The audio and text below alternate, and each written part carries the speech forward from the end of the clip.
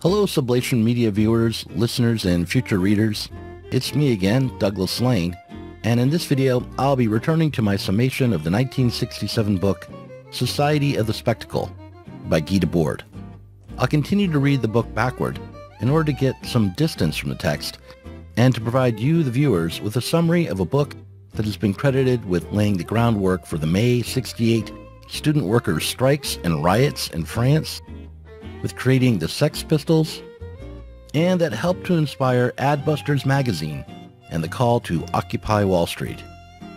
In this video, I'll consider how living by capitalist production alters our sense of time, and how what Debord called the spectacle hides linear historical developments under a layer of pseudo-cyclical time.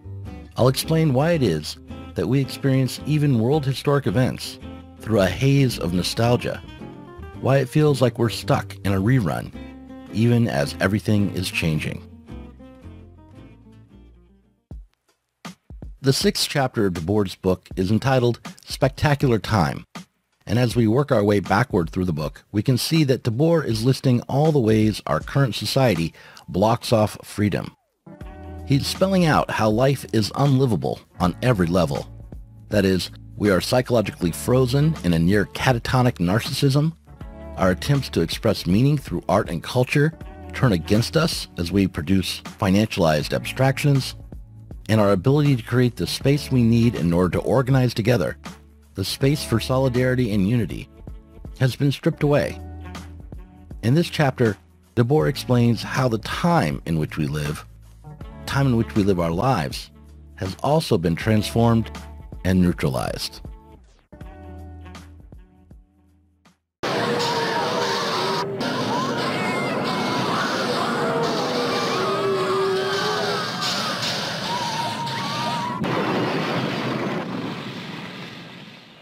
According to Debord, everything that happens appears to have already happened, and instead of creating a continuity of change, we are instead merely consuming reruns.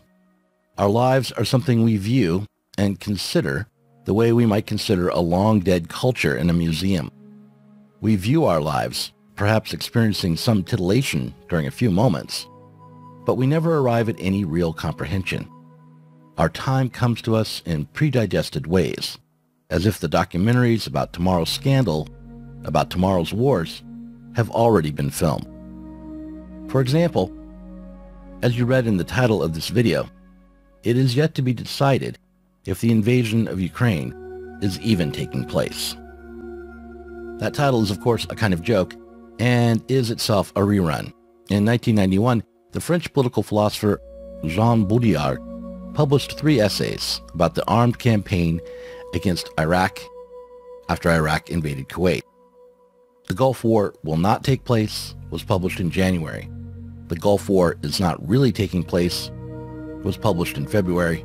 And the Gulf War did not take place was published in March. In these essays, Baudrillard argued that the Gulf War was not really a war, but was an atrocity that was packaged and sold to the West as a mere image. The Gulf War for U.S. citizens wasn't something they were involved in as active participants fighting for their nation, nor even as co-conspirators implicated in a crime, but rather it was something ephemeral, a mere image that they could consume by watching it on television. Debord makes a similar argument to Baudrillard. In this chapter on Spectacular Time, he writes, The pseudo-events that vie for attention and spectacular dramatizations have not been lived by those who are informed about them, and in any case, they are soon forgotten due to their increasingly frenetic replacement at every pulsation of the spectacular machinery. Those that are informed about pseudo-events are, according to Debord, proletarianized. In the early chapters of Society of the Spectacle, the chapters that are perversely yet to come in this summation, Debord claims that the whole world is proletarianized, or at least undergoing a process of proletarianization. Say you're getting tired of lettuce and tomato hamburgers in this town that don't quite make it? To understand the combination of claims, first that most everyone is now proletarianized, and second, that history and events appear to us as dramatizations that we don't live, but merely observe, we should remember that the proletariat is defined not by its activities in factories and workplaces, or not only by that, but also by its lack of property. The proletariat is robbed not only of money and commodities, but also of meaning and control.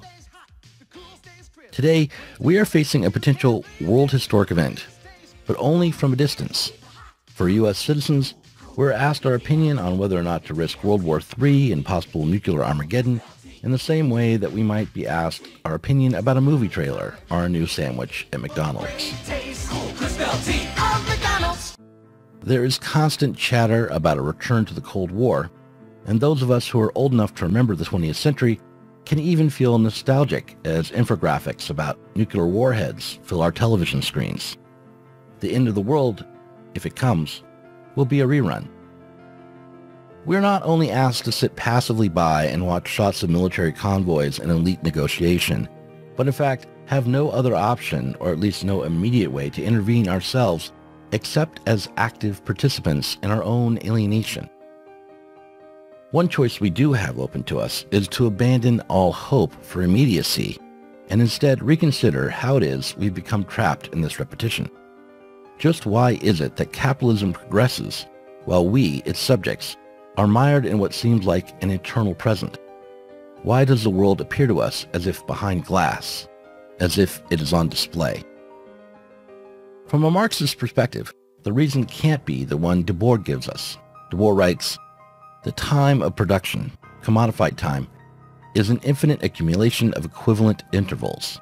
It is irreversible time made abstract, in which each segment need only demonstrate by the clock its purely quantitative equality with all the others.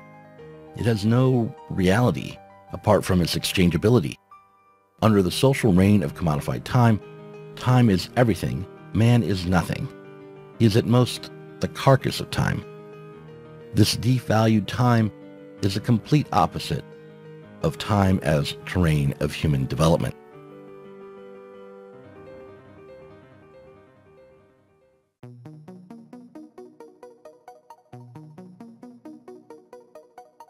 While it's true that capitalists and capitalism are indifferent to the needs of human beings, it is not the case that what is produced in factories and workshops under capitalism can be reduced to the abstract value that sets up exchanges in the market.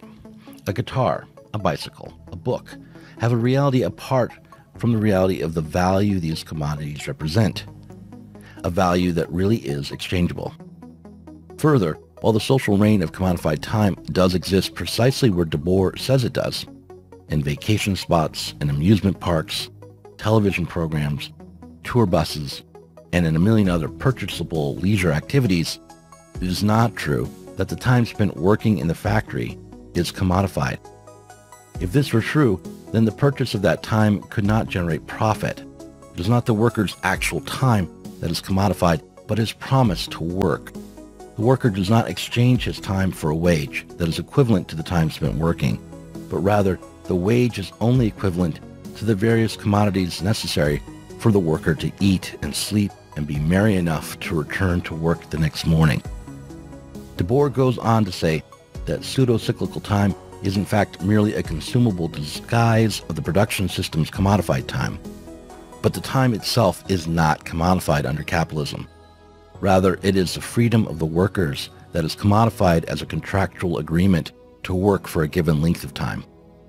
The fact that so many different consumable goods are created in such a variable number of hours demonstrates that, apart from the market, the real work we deploy for our masters is not equal.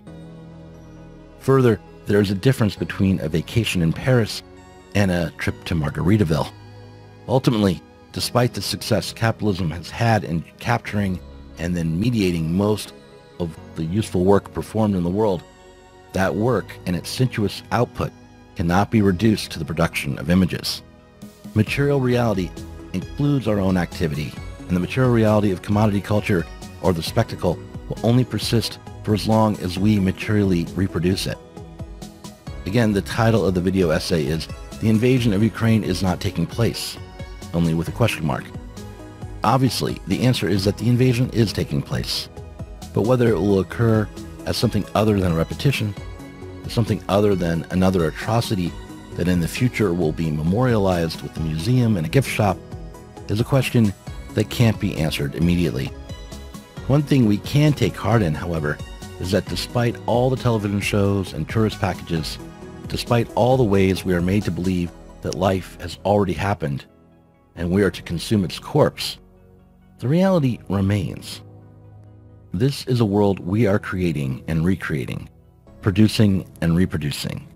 It may appear to us as an immense accumulation of images and spectacles, but it is also a pile of useful stuff that if we were to take hold of it, we could use to our advantage.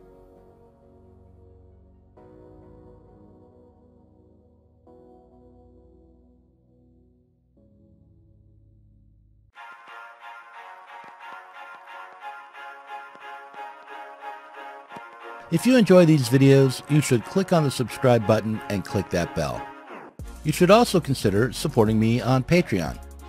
Patrons get access to a second behind-the-scenes Parrot Room discussion where we dish out gossip or go into the weeds on topics such as the tendency of the rate of profit to decline, imperialism, and the critical theories of Tiffany Brissett and Donald Most.